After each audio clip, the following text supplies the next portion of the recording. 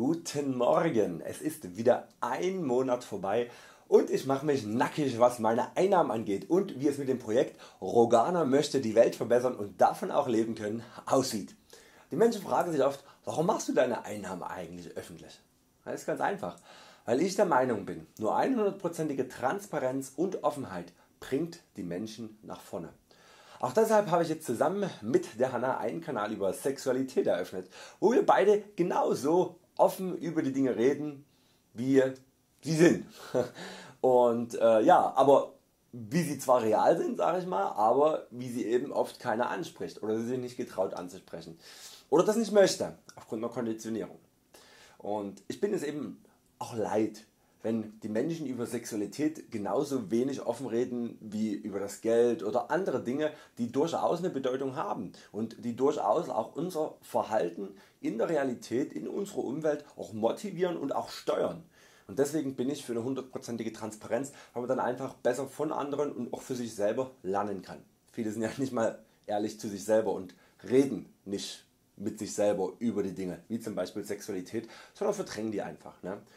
Wir leben in einer Informationsgesellschaft, also lasst uns ehrlich über die eigenen Erfahrungen informieren und aufhören irgendwelche Theorien aus dem Untergrund der anonymen Masse als Diskussionsgrundlage zu nehmen. Lasst uns echt sein und uns tolerieren, egal wie unterschiedlich wir sind.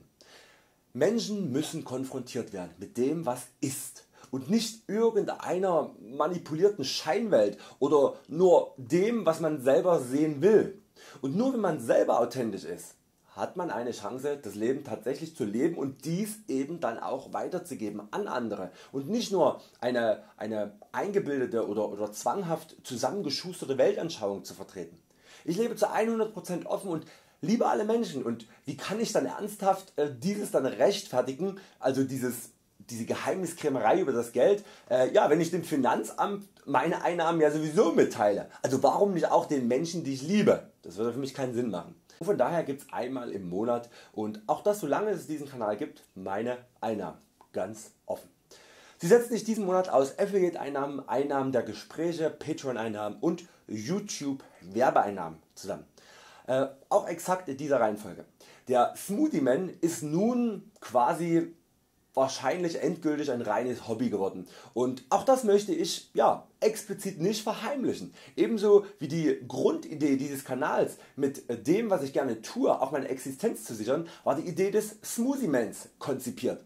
Aber viele Eltern geben den Kindern eben, eben kein Euro für einen gesunden Smoothie in der Schule mit und auch aufgrund der Tatsache dass ich gerade diesen Kindern dann trotzdem auch einen kleinen Becher geben möchte, weil scheinbar ihre Eltern nicht die Notwendigkeit einer gesunden Ernährung kennen und die Kinder wenigstens sich an das, an das tolle, vitalisierende und gesunde Getränk erinnern sollen, wenn sie abends wieder ihr Schnitzel vorgesetzt bekommen, generiere ich ja, dadurch eben dann jetzt keine großen Einnahmen mehr durch den Smoothie Man und fällt als Einnahmequelle einfach weg. Muss man so sagen und ja, ist jetzt ein Hobby. Ne?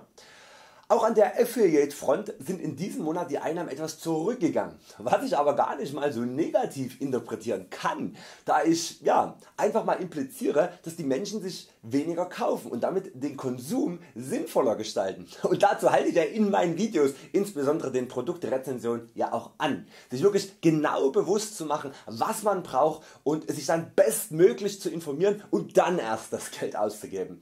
Äh, ja, aber natürlich trotzdem ein fettes Dankeschön, wenn ihr ausgehend von diesem Ablauf und auch meinen Empfehlungen hier bei YouTube oder Links auf meiner Homepage oder generell Reflinks von mir euren Einkauf beginnt. Das ist nach wie vor der größte Posten meiner Einnahmen. Dann die Gespräche. Das Prinzip der freiwilligen Bezahlung habe ich ja eingeführt bei den Gesprächen und äh, das hat sich auch bei mir jetzt komplett etabliert und ich möchte da auch nicht wieder zurück. Äh, und da gibt es, das kann ich jetzt so als erstes Feedback sagen, eine interessante Tendenz. Aber das bitte wirklich nur als Tendenz nehmen.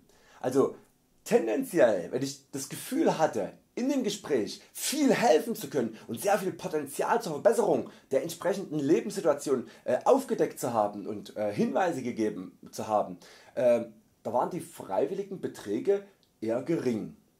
Und wenn ich überhaupt gar nicht den Eindruck hatte besonders viel geholfen zu haben, dann waren die freiwilligen Beträge plötzlich recht hoch, also die man mir danach gezahlt hat, gegeben hat.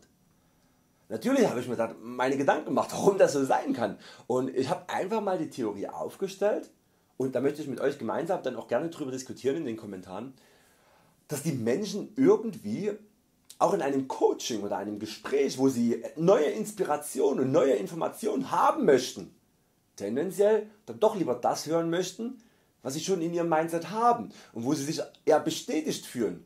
Und dass ihnen diese Bestätigung dann eben Mehrwert ist als ja, eine neue Inspiration. Und andersrum natürlich auch, wenn man ihnen viele Gedanken und Erfahrungen mitteilt, ähm, die sich nicht mit ihren decken, äh, dass man das eher weniger als Hilfe begreift. Das ist zumindest meine, meine, meine Theorie. Dann gibt es natürlich auch ganz normale Tendenzen innerhalb dieser freiwilligen Bezahlung, äh, dass Menschen die zum Beispiel weniger Geld zur Verfügung haben, eben auch weniger bezahlen. Das ist ja auch das, der Sinn da gewesen. Alles in allem bin ich aber sehr sehr sehr zufrieden äh, mit der Umstellung auf eine freie Bezahlung und kann es jedem nur empfehlen. Es entspannt die ganze Situation der Gespräche auch wirklich deutlich und äh, das Geld wird entsprechend wirklich einfach zu einem, zu einem adäquateren Energieausgleich. Davon abgesehen ist diese Freiwilligkeit ja auch die Grundlage meiner Vision einer neuen Menschheit. Äh, kein Zwang zu haben, gerne geben und, und liebevoller Toleranz. Und wenn sich das widerspiegelt in, sozusagen in meinem beruflichen Alltag, dann ist es einfach die Perfektion, dann lebe ich die Vision in dem Moment und das ist toll. Ne? Auch die Anzahl meiner Patrone, also Patreons, ist im Mai auch wieder gestiegen und zwar um 5. Äh, also Patrone, das sind diejenigen, die mich monatlich mit einem freiwillig gewählten Geldbetrag unterstützen. Diese Unterstützung kann natürlich jederzeit grundlos und den Grund müsst ihr mir nicht sagen, ich verstehe das, genauso wie ich mich freue, dass ihr mich unterstützt. Wenn ihr dann sagt, nein, ich möchte jetzt nicht mehr, vollkommen in Ordnung, es kann jederzeit sozusagen gecancelt werden, also äh, ge aufgehört werden und ihr könnt das stoppen. Ne? Sonst geht halt monatlich ein Betrag ab, den ihr frei wählt. Äh, ja und die neuen, äh, die neuen Patrone sind äh, diesmal der Sascha, der Christian, der Calvin, der Ralf und der Martin. Ähm, aber nicht nur per Patreon wurde ich unterstützt, sondern auch durch einmalige Beträge. Entweder ganz oldschool durch einen Brief oder per Paypal. Da auch ein fettes Danke an Thomas und Marita, Christine, Chrissy, Lydia, Saskia und dem Stefan. Genau. Diese Menschen äh, sehe ich nicht weniger als meine Unterstützung an äh, oder, oder Patrone an, als die, die äh, ja, mich über diese Patronen-Webseite dauerhaft unterstützen. Also einfach nur ein Tool, was das ein bisschen einfacher macht für die Menschen, dass sie eben nicht einen Brief schicken müssen oder beim Paypal, sondern die einfach sagen, ja, monatlich 1 Dollar, 10 Dollar, je nachdem, ähm, ja, was derjenige für ein Gefühl hat, äh, wird überwiesen an Christian und damit möchte ich ihn unterstützen. Da, da auch nochmal explizit an die Menschen, die es auch einmalig machen oder über Patreon machen, ähm, weil ich weiß, wie schwer es vielen fällt Geld für etwas zu geben, was man auch kostenlos bekommen kann. Wirklich ein, ein dickes Dankeschön. Als letztes die Werbeeinnahmen von YouTube. Das bedeutet, wenn ihr den Spot, der vor den Videos kommt, mindestens 15 Sekunden glaube ich sind das, oder zu Ende schaut oder darauf klickt, bekomme ich einen, einen Betrag äh, von den Unternehmen, die für diese Werbung bezahlt haben. Äh, genauso wie für diese Werbebanner, die manchmal äh, sozusagen klickbar sind. Ne? Also wenn ihr da draufklickt, äh, dann bekomme ich sozusagen, äh, von, da bekommt YouTube und ich bekomme von den Werbebudget der Unternehmen jeweils ein Teil. Ne?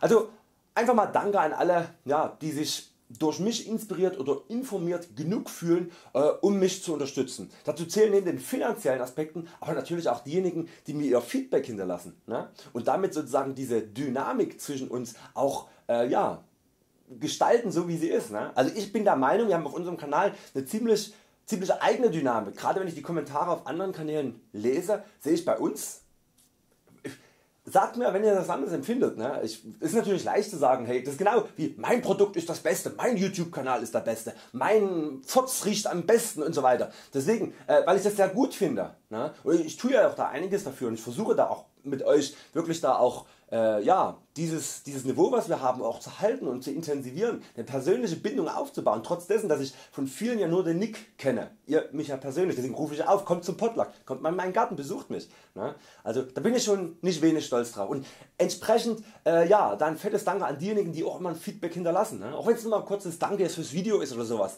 und da, das freut mich jedes Mal. Ne?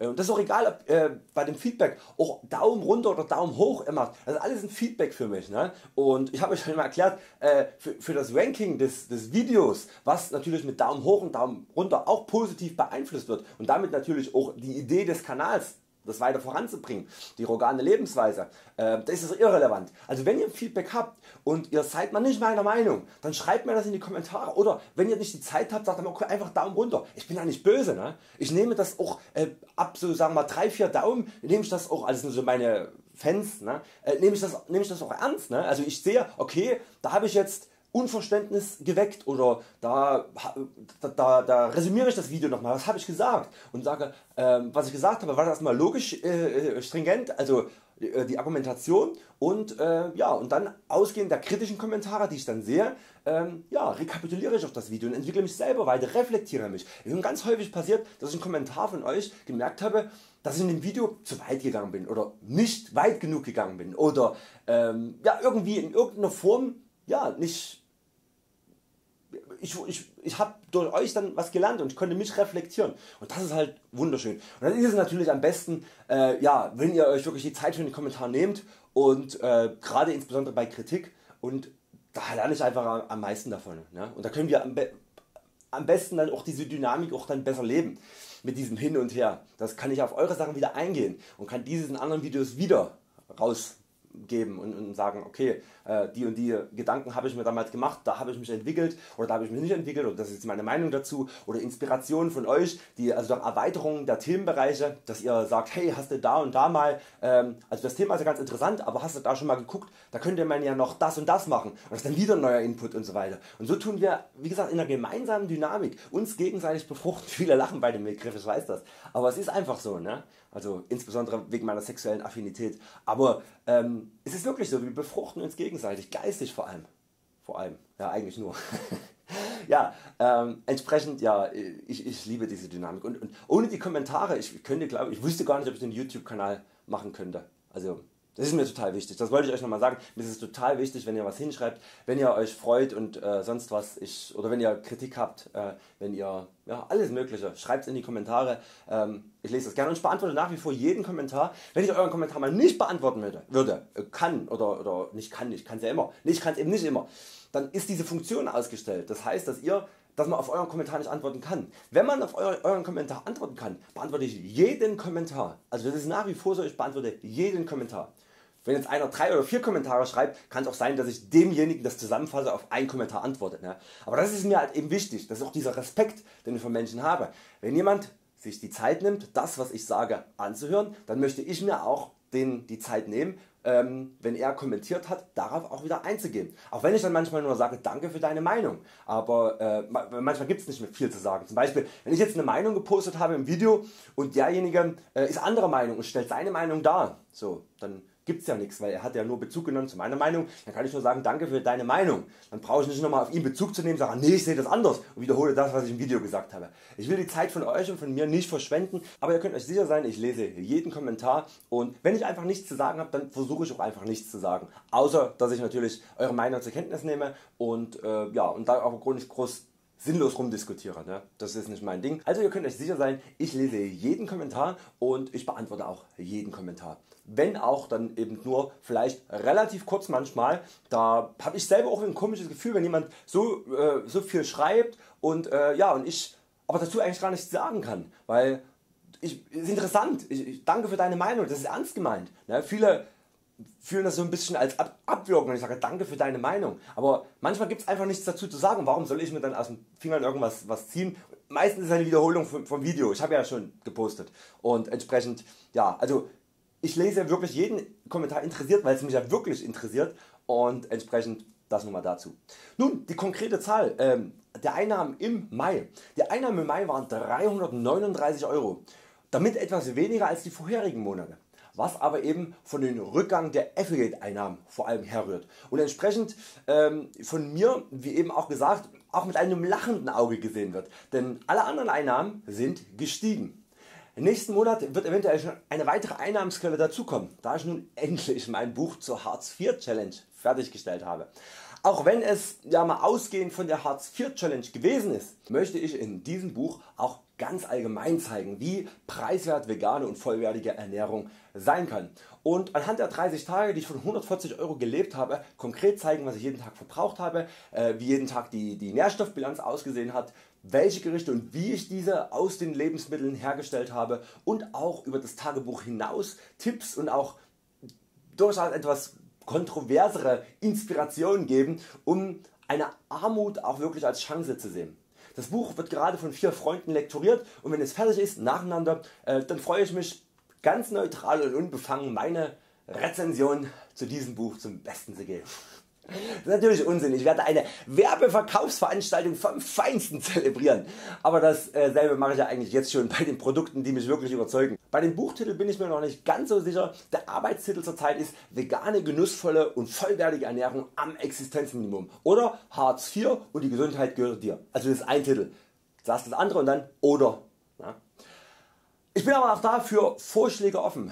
Passend zum Buch als letztes noch ein Wort zu dem 100 Euro Monatsbudget die ich derzeit habe äh, für Essen und Trinken. Ich habe es nicht ganz geschafft das Budget zu halten, sondern ich bin bei knapp 140 Euro gelandet. Ja, wie quasi auch in der Hartz IV Challenge. Allerdings äh, gab es da einiges an kullischen Leckerbissen wie Mangos en masse oder eben auch immer noch sehr viel Biogemüse und Obst. Da werde ich im nächsten Monat noch etwas mehr anziehen. Aber der Sommer steht vor der Tür und der Garten wird mir dabei ziemlich sicher auch helfen, die, diese 100 Euro dann auch zu schaffen. So, ich hoffe ihr fühlt Euch informiert wie es so finanziell bei mir aussieht. Sexuell werdet ihr auf meinem neuen Kanal auf dem Laufenden gehalten und äh, ja, wer eine Leibesvisite bei mir durchführen möchte um auch das letzte Detail meines Lebens zu erfahren, dann macht sich einen persönlichen Termin bei mir. Ich wünsche Euch noch alles Gute und nochmal danke für Euren Support und egal auf welche Weise. Ne? Aber genau diese gemeinsame Dynamik, dieses gegenseitige Geben und Nehmen, das ist ein Teil äh, ja, auch einer neuen geistigen Evolution, wo wir alle unseren Beitrag in unserem Umfeld leisten. Also nicht nur hier auf dem YouTube Kanal, sondern dieses Verständnis für das Geben und Nehmen auf dieser freiwilligen Basis, das ist das was die Welt voranbringt. Ne? Für eine bessere und liebevollere Welt. Macht's gut, wir sehen uns morgen wieder, Euer Christian. Ciao.